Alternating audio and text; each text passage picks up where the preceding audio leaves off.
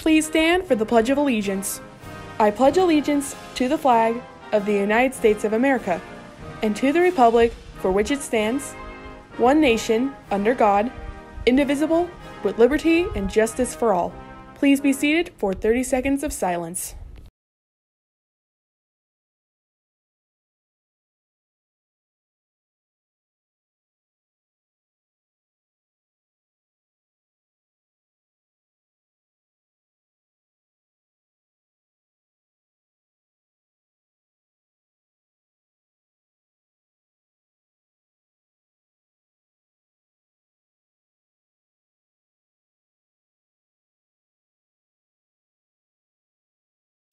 Good morning, Coyotes. It's time for the rundown.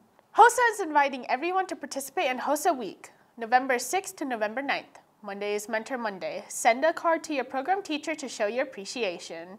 Tuesday is Tuesday in Training. Wear your scrubs, uniform, or attire to represent your program area and future career path. Wednesday is HOSA Spirit Day. Wear a HOSA shirt or HOSA colors, red, white, or blue. Thursday is Twin Thursday. Plan a similar outfit with your friends and wear it to school. As the weather changes, please keep in mind that the Southwest Tech dress code prohibits the wearing of mittens, gloves, hats, winter scarves, blankets, and coat hoods inside of school buildings, including the cafeteria. Come play volleyball with your friends. BSU presents the Volleyball Showdown Tuesday, November 14th and Wednesday, November 15th in the gym. Tickets to the showdown will be sold in the cafeteria during both lunches from November 1st to November 10th. Teams will be made up of seven players and the fee is $5 per player, $35 per team. Fees will be paid to the banker. To sign up, scan the QR code on screen. The cookie dough is ready. Teachers and students who purchase cookie dough from a Skills USA member may pick up their cookie dough in the ballroom promptly after school today, November 3rd. Skills USA members who need to pick up cookie dough that was purchased by outside members of our community can pick up their cookie dough at the same time, promptly after school today. Remember, bus riders with more than two bags of cookie dough to pick up will need to arrange a ride home so that the product can stay as fresh as possible. Coyotes, please be aware that progressive discipline will be enforced for those students with excessive tardies. Refer to the Southwest Tech Student Handbook for details.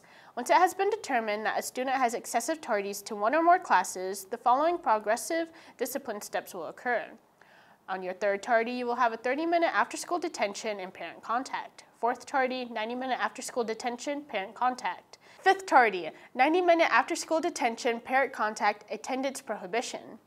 Sixth tardy, RPC for disregard of school rules and parent conference. Seventh tardy, one-day suspension and parent conference.